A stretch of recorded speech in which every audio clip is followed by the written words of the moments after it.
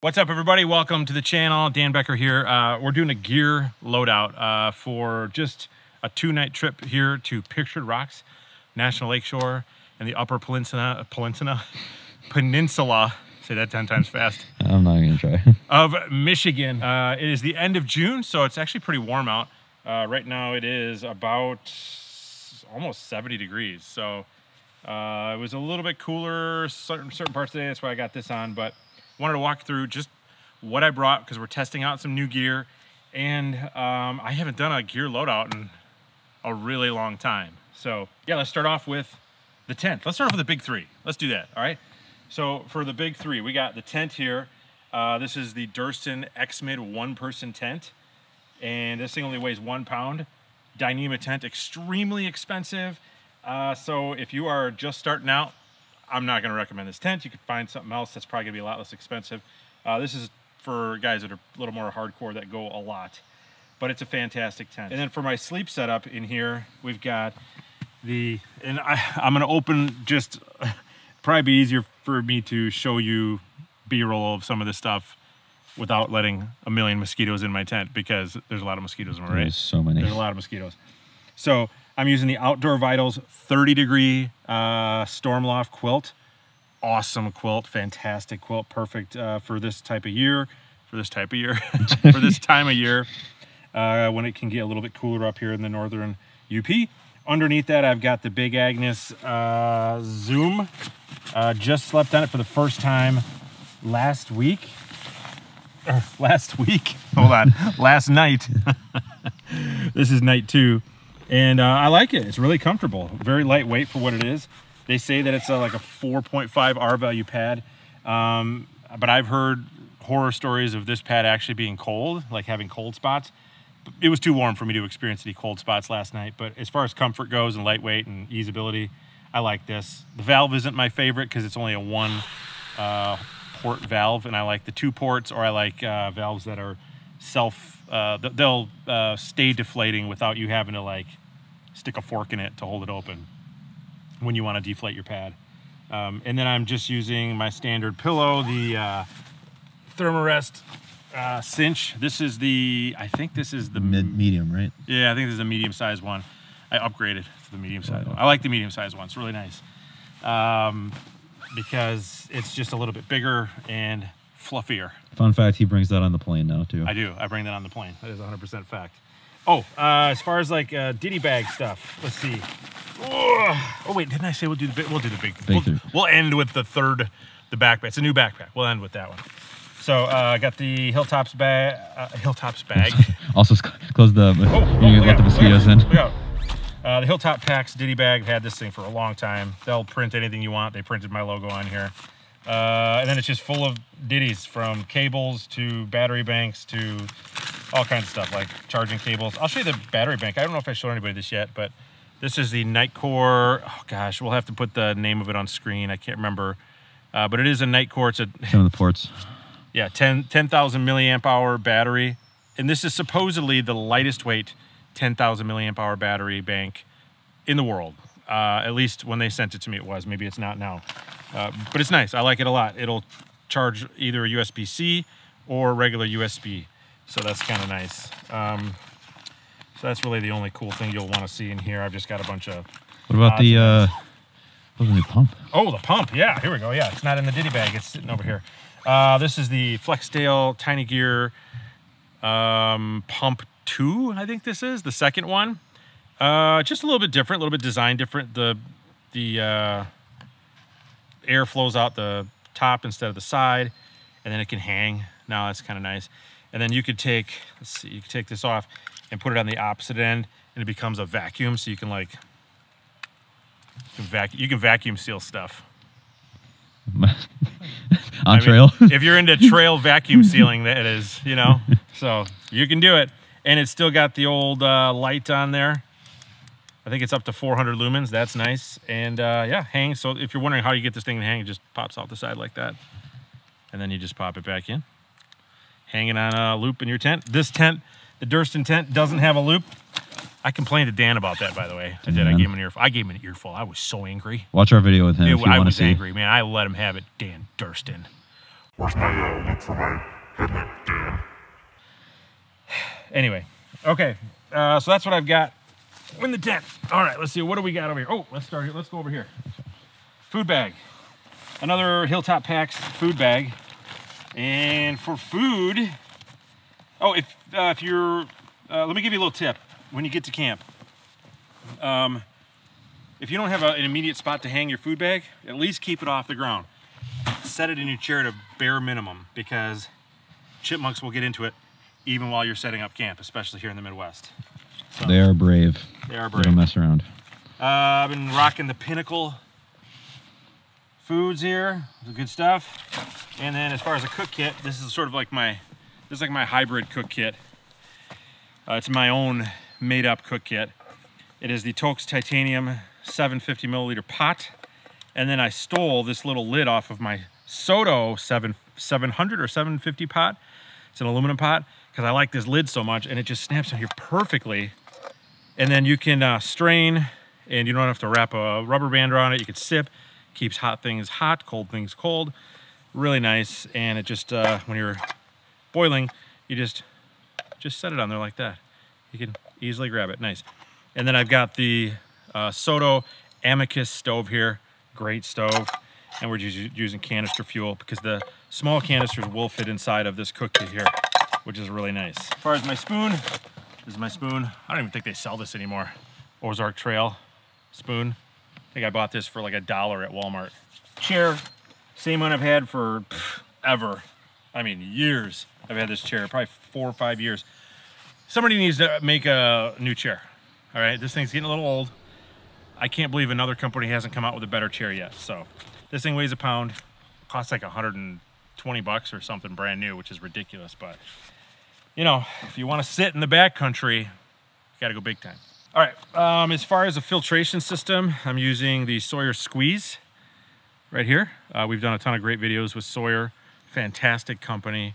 Um, every $10 you spend on a Sawyer product actually goes to give one person in the world clean water. So if you buy a Sawyer Squeeze, that's four people that will have clean water. So go check out some of our videos on that. And then uh, I haven't used this in like two years, maybe three. This is the Knack or CNOC Vecto uh, water bladder. And this will hold two liters of water. And then, you know, you just fill it with water and you can screw your Sawyer onto the end like this. And then you filter. You can just screw it on there like that. And then you uh, squeeze the water through and you're good. You're good. You're good. you're good. Uh, what I like about this bag though is that you can, it's got a wide mouth on it.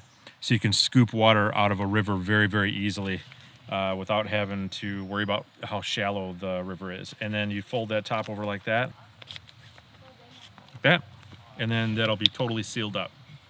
So really nice. And then as far as like a camera bag, I get asked a lot how I carry cameras on trail. I use the Hyperlite Camera Pod. It's really expensive. It's like almost a hundred dollars. Kind of ridiculous if you ask me, but it'll hold a big DSLR camera, uh, my microphone, and then uh, we just throw the camera in the bag like that, and then I can just quickly throw the camera or the mic on top.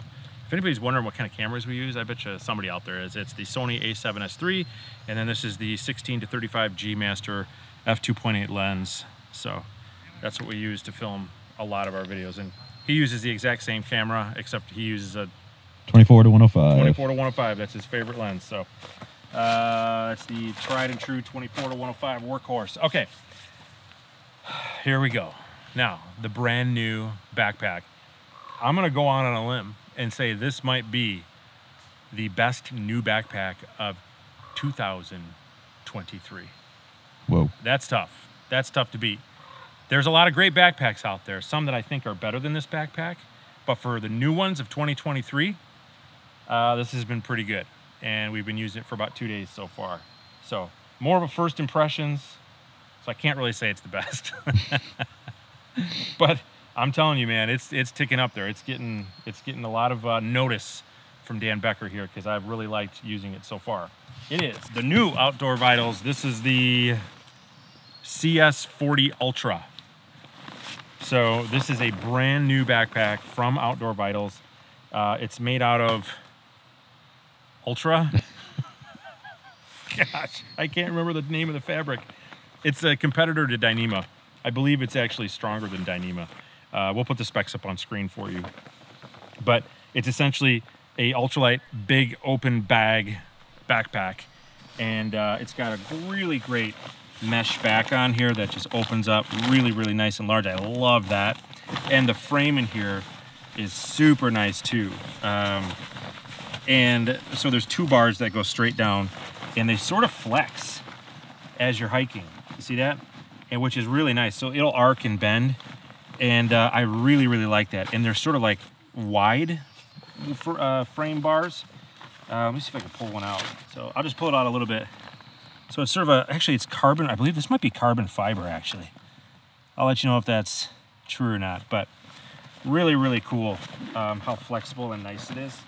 And so you can make this a frameless pack if you want as well. And then what I also really like about it is that the hip belt pouches are attached. That is a win. Thank you for doing that. And which also makes it very easy to open with one hand.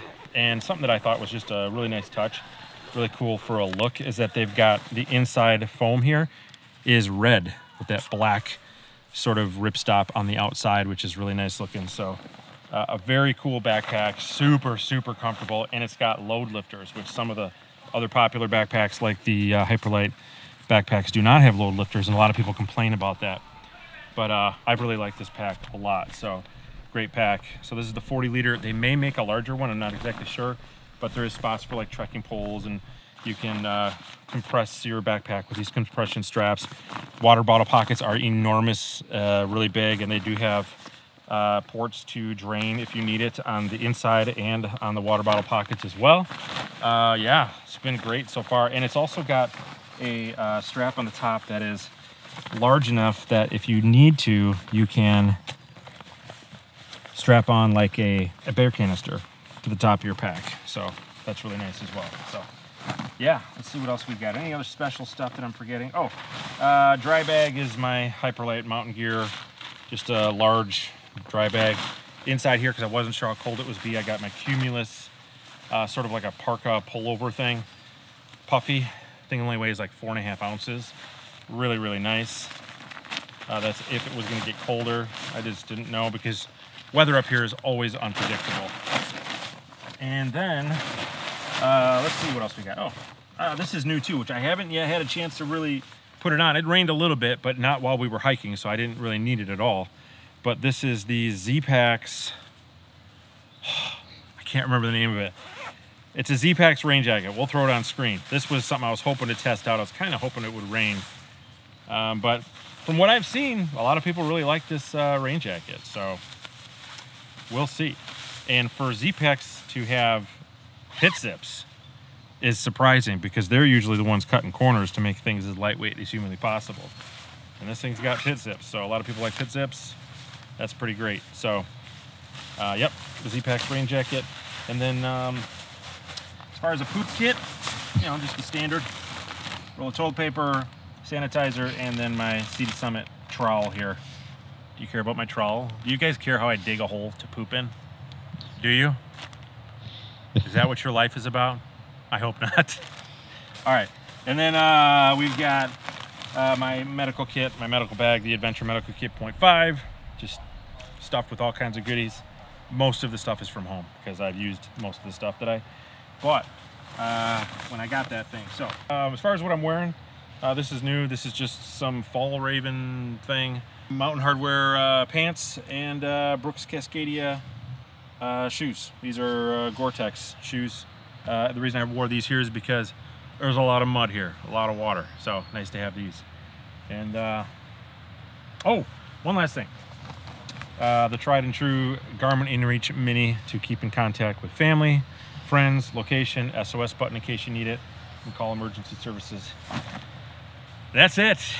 That's the loadout here. I will put all of the weights of all of this on screen and I will tell you for the first time in probably two, three years how much my backpack actually weighed. I will weigh it all for you and we'll put it on screen, but it's pretty lightweight. So that's it.